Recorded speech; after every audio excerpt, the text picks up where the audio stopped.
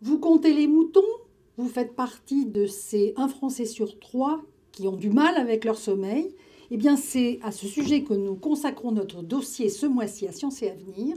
Comment le retrouver le bon sommeil réparateur, celui qui a l'effet d'une cure de jouvence?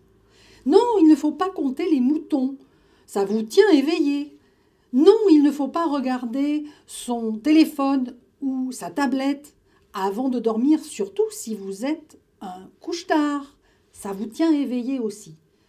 Non seulement nous revenons sur les idées reçues, mais nous vous expliquons les dernières découvertes, à savoir que le sommeil lent profond, c'est-à-dire l'un des cycles principaux du sommeil pendant la nuit, est celui qui va vous regonfler en énergie.